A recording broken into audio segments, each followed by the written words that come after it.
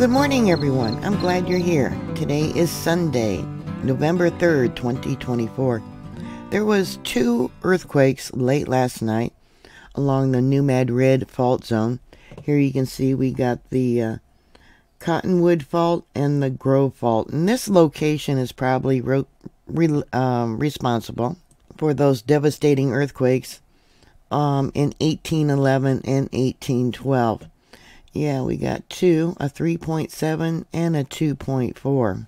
Looking at Google Earth, yeah, you can see the different blowholes from the 1811 1812 earthquake and probably see a fault running through here by the discoloration. Let me bring this in. Yeah, these are areas here of um, old blowholes that occurred during that, yeah, devastating earthquake back in 1811 and 1812.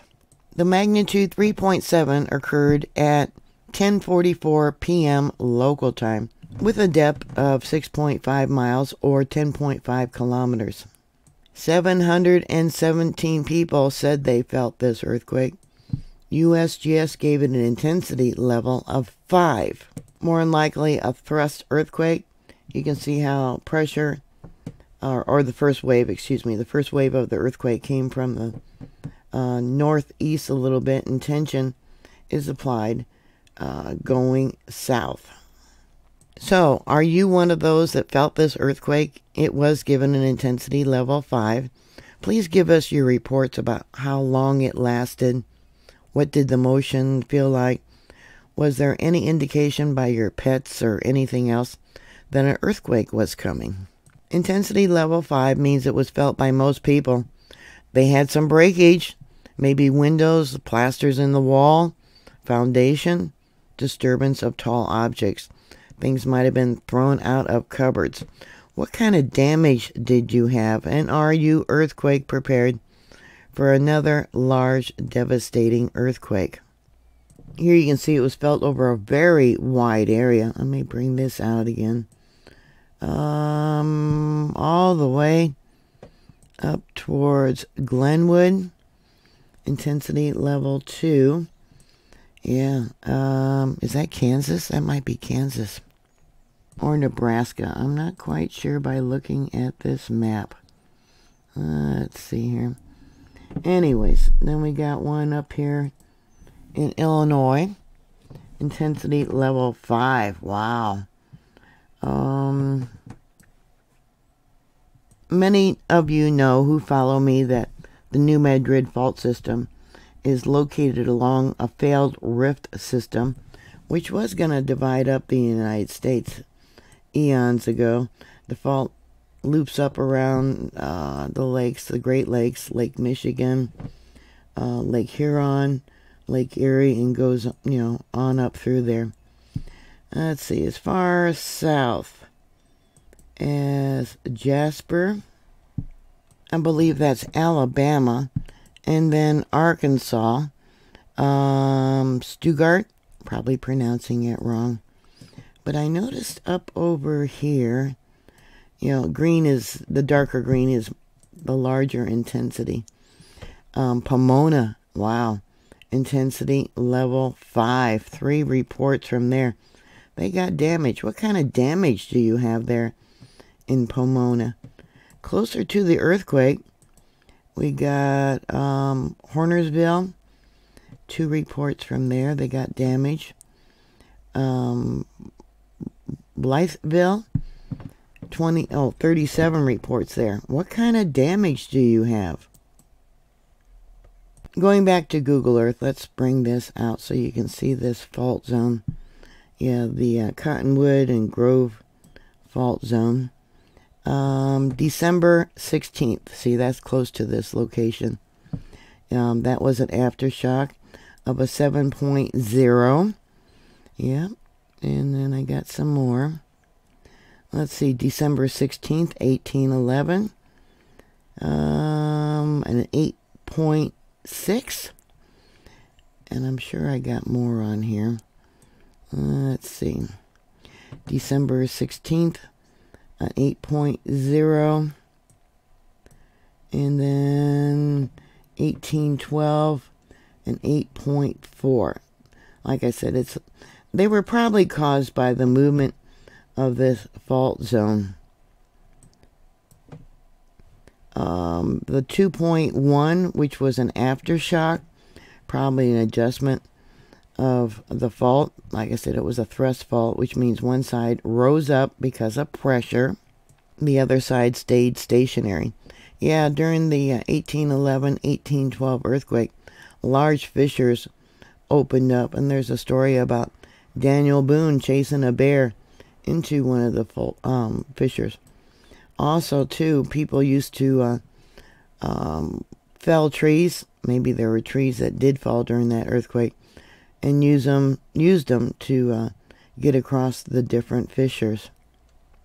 These earthquakes are an indication that pressure has built. Any earthquake has a 10% chance of being a foreshock for something much larger. And as we know, because of the Earth's magnetic field getting weaker and weaker, ancient faults are now being reactivated. We're having a lot of earthquakes in diverse places, aren't we?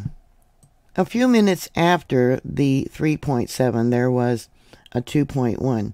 That was at 10:57 uh, p.m. local time. 10 people said they felt it. USGS gave it an intensity level of 3, which means it was felt noticeably indoors. Um, not always recognized as an earthquake. Standing autos rocked slightly.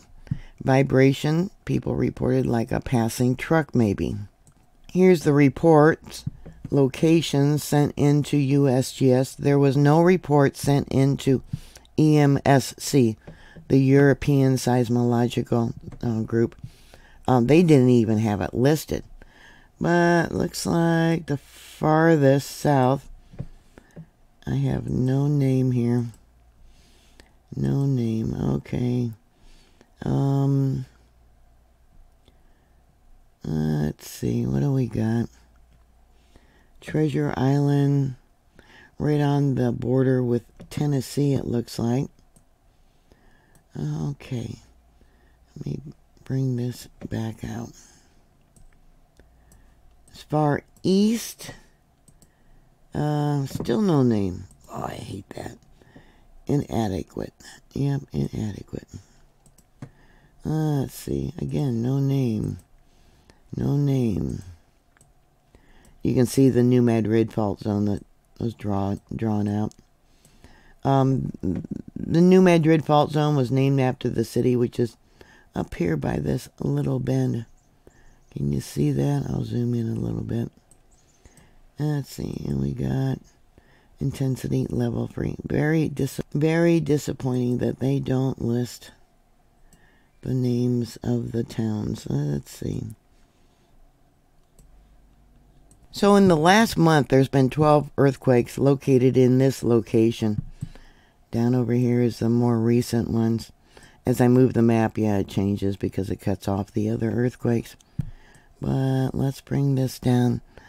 And so we got the 2.1, 3.7, uh, 5.2 miles in depth, 6.5, um, a 1.7, 4.5 miles in depth, Hayward, Missouri, a 1.2, Marston, Missouri, a 1.7 up there by New Madrid. A 2.0, 2.8, looks like they're all about, um, oh, four to six miles, but this one here is shallower. That's a 1.8, 3.7 miles in depth. Um, that was on October 8th.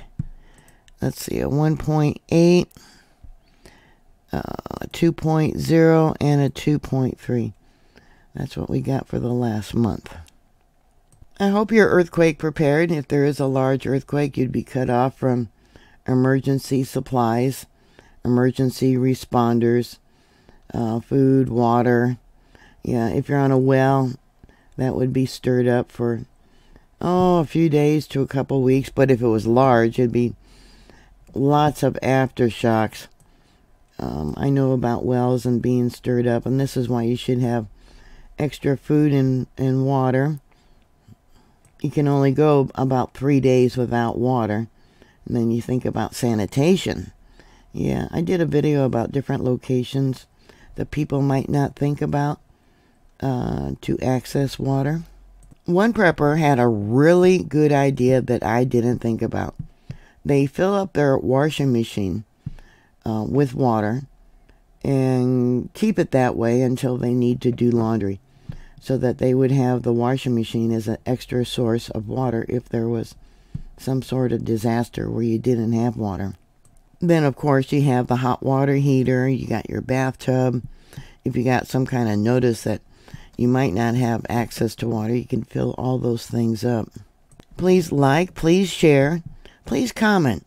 Yeah, we enjoy reading your comments here. Thank you very much for watching. Always be prepared. You just don't know, especially with two days until the election. Gosh, I'll be glad when the election is over. We had early elections um, where you can go in about a month ago. So my daughter and I both voted, and that was before she came down with meningitis. And myself, I think that the election probably, more than likely, uh, maybe an 80 to 90% chance that it's not going to be a fair election. I pray that it will. A little side note um, a lot of people believe that we are in the end times.